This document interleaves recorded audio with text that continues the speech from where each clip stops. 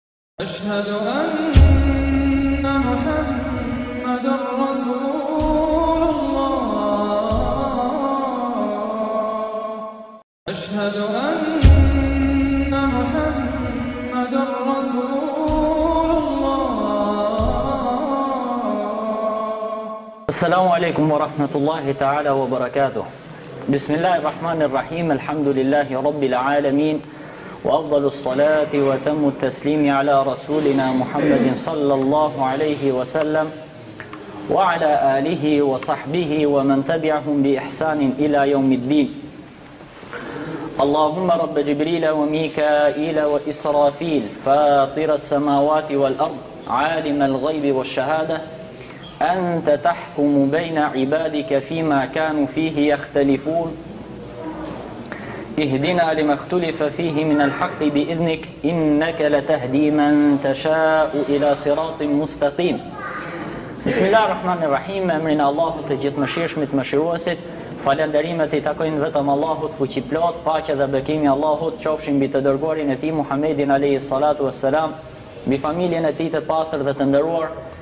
mbi shokët e tij besnikë dhe mbi të gjithë ata që e ndjekin dhe e pasojnë rrugën e tij deri në Ditën e Gjykimit. Vëllezër të dashur, jemi në ajetin e njëmdhjetë të sures El-Huxhurat, kjo sure e madhe, një sure edukative që i nxit besimtarët në moralet më të larta.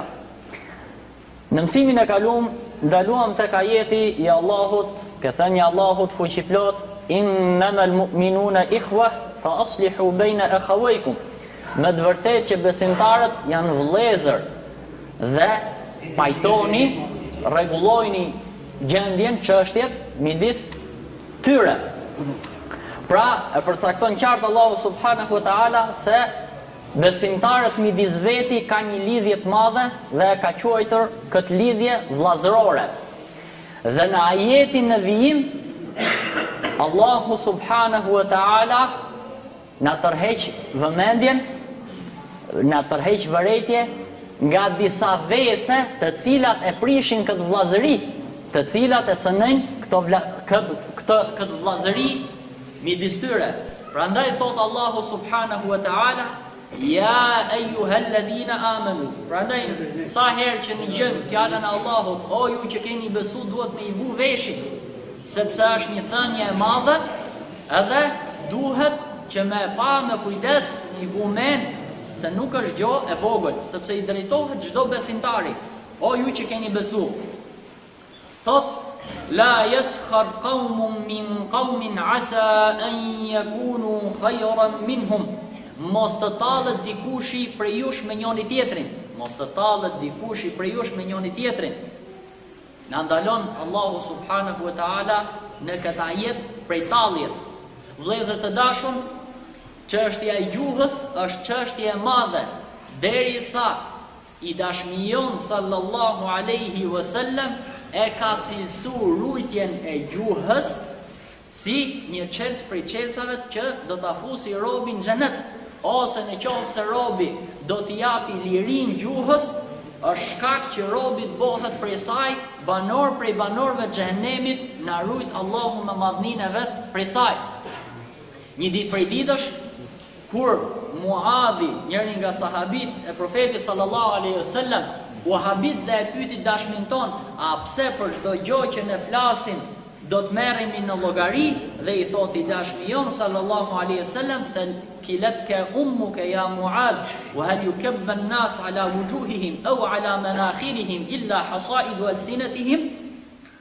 Thotë të pastë nona o Muadh, po a nuk do të futen robt nuk do të tërhiqen zvarrë prej ftyre për në zjarr xhehenemit vetëm për shkak të asaj që e kanë bo gjuhët e tyne për shkak të asaj që ka fol robi Allahu i dashmi jonë sallallahu alaihi Allahu Allahu i madhëruar në librin e tij famëlartë thotë a'udhu billahi minash shaitanir rajim ma yalfidhu min qawlin illa ladayhi raqibun atid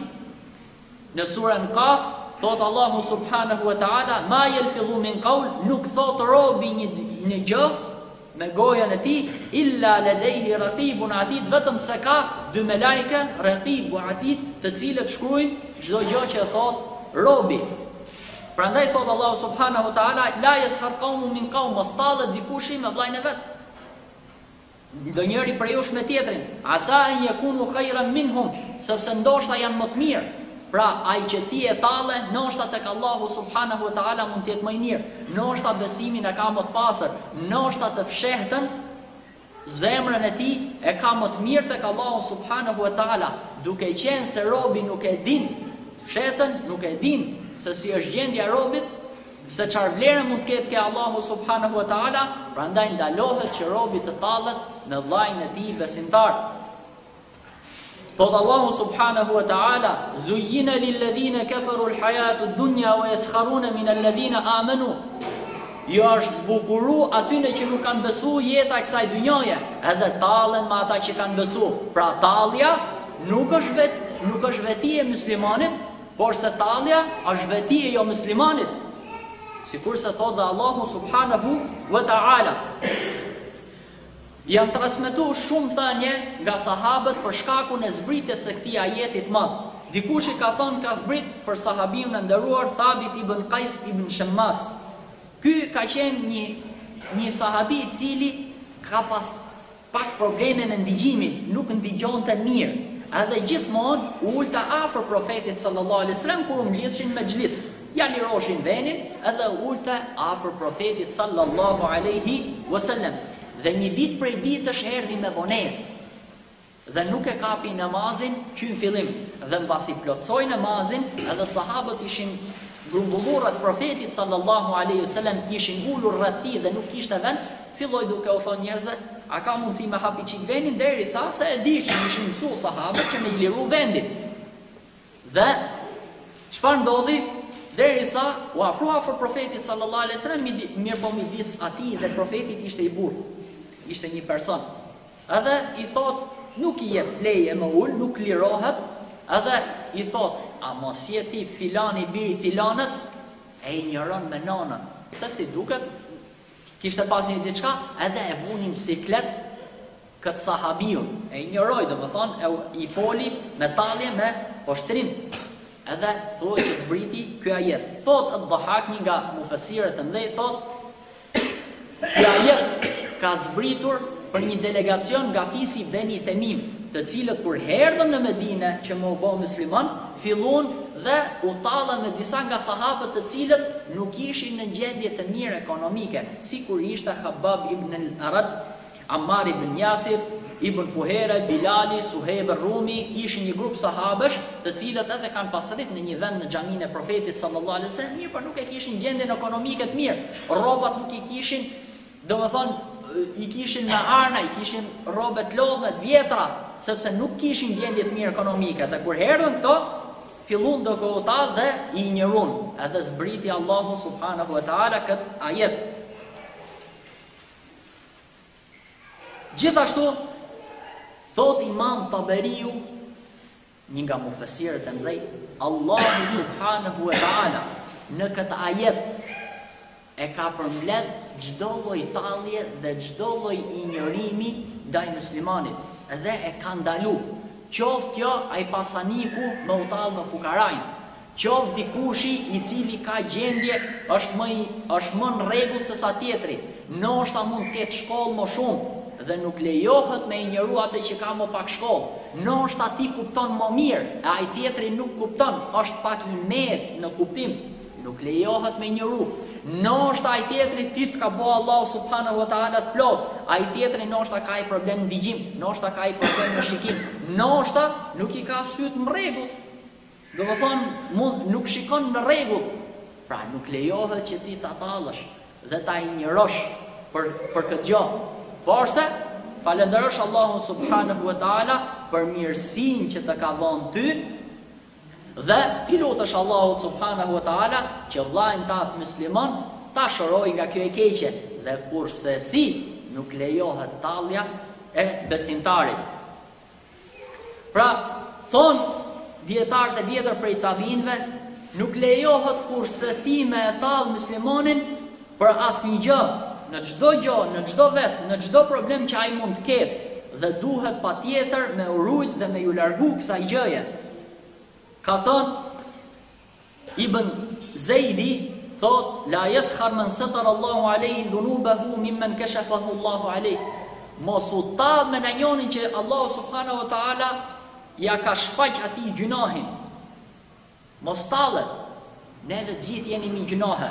Po ama në qoftë se dikushi e sheh duke bo gjyna, gjynah në publik, mos e tall për këtë gjë, se noshta Allahu subhanahu wa taala Ja fal atij në ahiret këtë gjynah, i ka dalë në pak njerëz mirëpo noshta ditën e kiametit e run, e noshta ti që në ndokushi i cili e bën gjynahin në fshehtësi mund ta flliqë Allahu subhanehu e teala ditën e kiametit.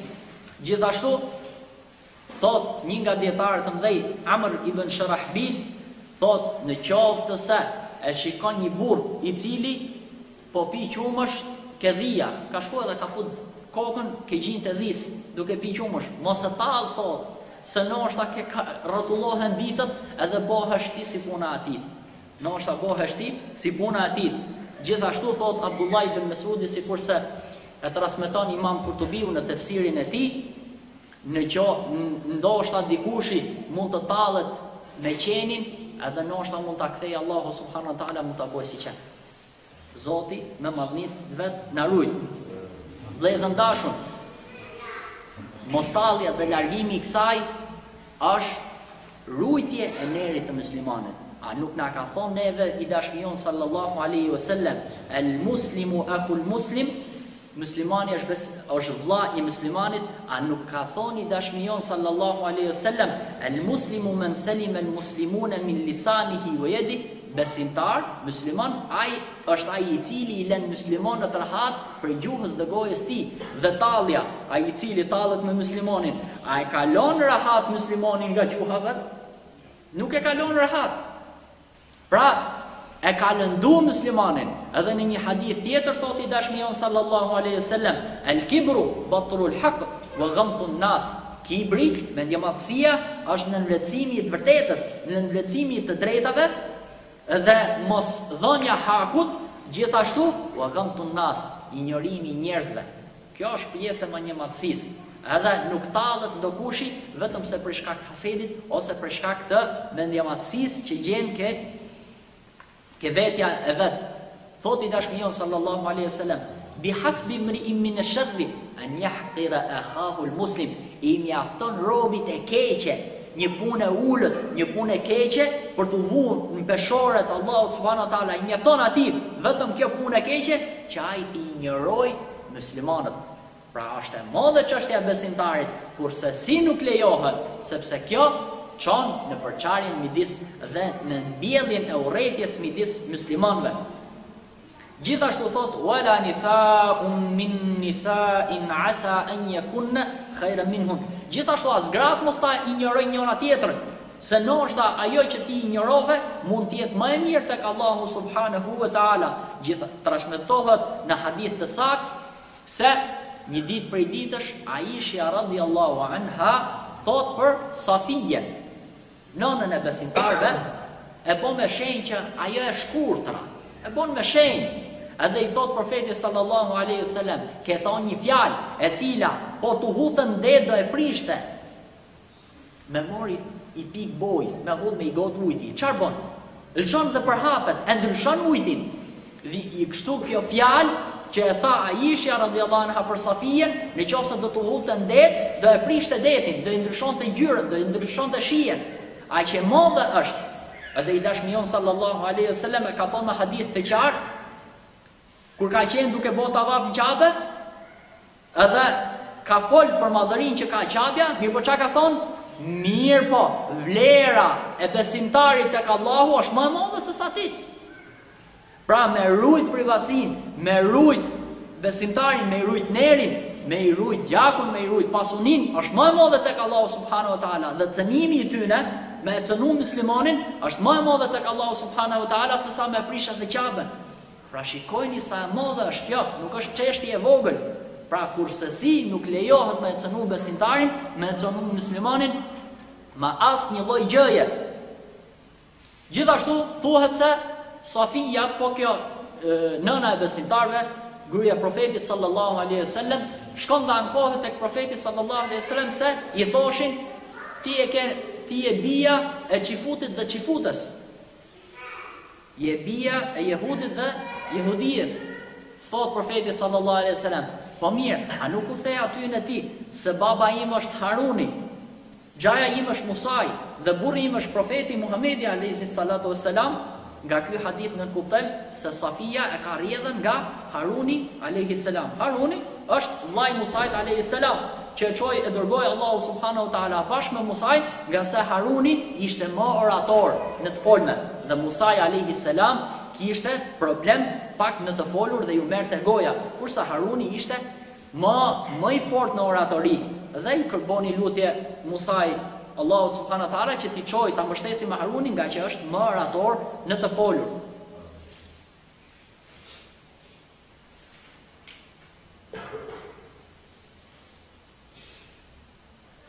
Thotë Allahu subhanehu ve teala, Inna Allahe la jandhuru ila suwarikum wala ila exhsadikum walakin jandhuru ila kulubikum wa a'malikum. Allahu subhanehu ve teala nuk shef atë portretin e robit, se si është fizikun e robit, porse çfarë shef? Shef zemrat dhe shikon punët. Mirëpo kjo gjo është e fshehtë nga robi, prandaj askushi nuk është më lart se tjetri. Gjithashtu ai i cili injoron dhe fol për tjerët, ngjan sikur po pastron figurën e vet, mirëpo na ka ndalu Allahu subhanehu wa ta'ala në librin e Tij duke thënë, Fela tuzekku enfusekum, huwa a'lemu bimen itteka, Mos e pastroni, mos e lavdëroni veten tuaj, sepse Allahu e din më së miri se se kush është më i miri prej jush dhe kush është më i devotshmi. Thotë Allahu subhanehu ve teala, Wa la telmizu enfusekum, Wa la telmizu enfusekum, Mos turproni vetet tuja, Mos turproni vetet tuja, Mos turproni njoni tjetrin. Dhe, sikurse ka thonë, ka thonë Allahu mos turproni veten tuj, sepse ai i mençmi nuk fol keq për veten e vet. Ai i mençmi nuk e vret veten e vet. Prandaj, çfarë nënkuptojmë te ky ajet? Se Allahu subhanehu ve teala i ka konsideru besimtarët si një trup i vetëm, Methelul mu'minine fi tewaddihim ve terahumihim ve ta'atufihim methelul jesedil wahid, Shembulli i besimtarëve në mëshirë, në afrimitet me njoni tjetrin, është si puna e trupit të vetëm. Pra na ka konsideru Allahu subhanehu ve teala një trup të vetëm. Edhe ai i cili lëndon besimtarin ka lëndu veten e vet, ai i cili ka sha besimtarin ka sha veten e vet, ai i cili ka cënu besimtarin ka cënu veten e vet. Vëllezër të dashur, thot Allahu subhanahu wa taala, "Fela taqtulu anfusakum", mos i vritni vetet tuaja, pra mos e vritni njëri tjetrin. Pra me vra tjetrin konsiderohet sikur ke vra veten tate. Dhe gjithashtu thotë, Fe sellimu ala enfusikum, jepini selam veteve tuja. Çfarë qëllimi ka këtu? Jepini selam njëri tjetrit. Jepini selam njëri tjetrit. Pra na ka urdhëru Allahu subhanahu wa ta'ala dhe është urdhër nga Allahu subhanahu wa ta'ala që me i dhonë selam njëri tjetrit. Dhe thotë, Fela telmizu enfusekum, mos e injoroni njoni tjetrin, me gjuhë, mos e turproni njoni tjetrin. Për shembull, mund t'ia bojë njoni, A je metra? Injorim. Ose, janë duke rri, është njoni duke fol, e ne ja bo, ja bo me sy. Dikush ndoshta nuk e ka formimin e plotë edhe çar tak i shkel me sy shokut vet duke e injoru me shenjë injorimi për vllajën e vet amo mo jepi lene lene të foli ja bën me një shenjë kështu lene të foli çi ve mend ti injorim është kjo vllai dashur nuk lejohen këto shenja qoftë me fjalë qoftë ta injorosh me fjalë qoftë ta injorosh me shenja qoftë ta injorosh me të shkel me syu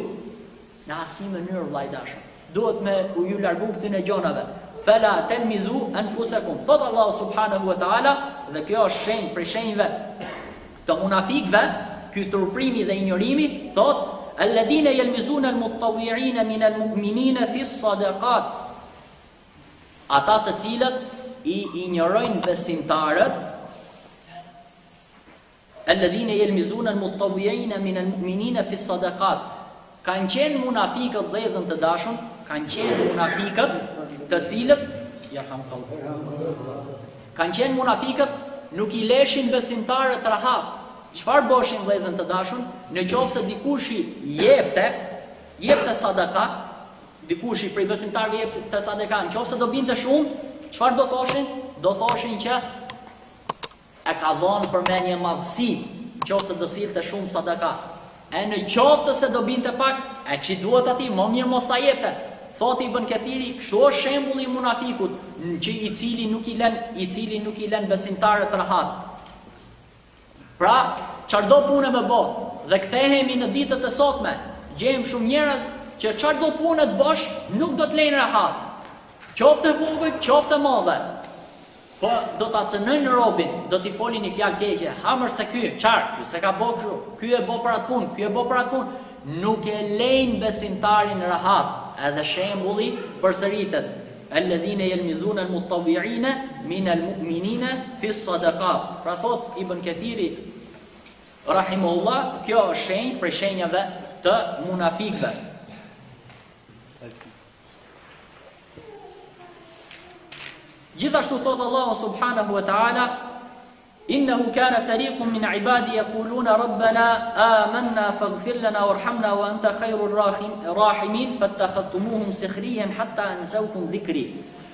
Me u tall dhe me injoru besimtarët vëllezër të dashun do të kthehet ke robi me harresë, do të harrojë robi veten e tij, thotë Allahu subhanehu ve teala, kanë qenë një grup prej besimtarëve, thotë Allahu subhanehu ve teala, të cilët thoshin, O Zot, na fal neve, ne kemi besu tek ti, prandaj na fal neve, na mëshiro neve dhe ti je mëshiruesi më i madh. Çfarë thotë? Fettakhadhtumuhum sikhriya, ju u tallët